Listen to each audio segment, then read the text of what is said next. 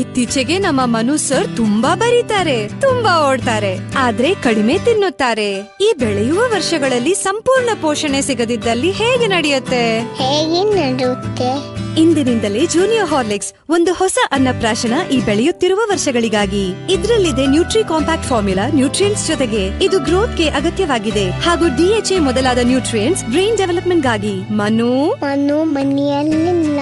Junior Horlicks ಸರಿಯಾದ ಬೆಳವಣಿಗೆಯ ಪ್ರಾರಂಭ.